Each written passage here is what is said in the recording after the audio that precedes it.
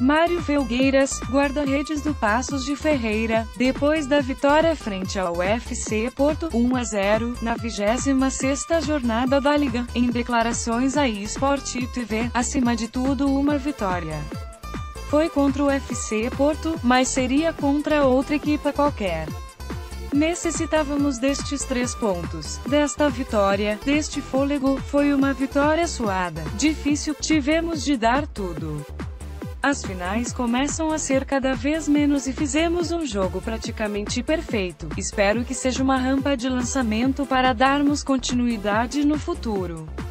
Não vai de servir de nada se não dermos continuidade. Agora, os níveis de confiança vão ser outros.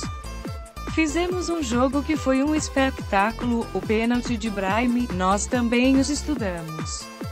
No ano passado bateu um para o mesmo lado, e eu não consegui chegar à bola, tivemos a sorte do jogo, acontece, nos outros encontros não nos tem acompanhado.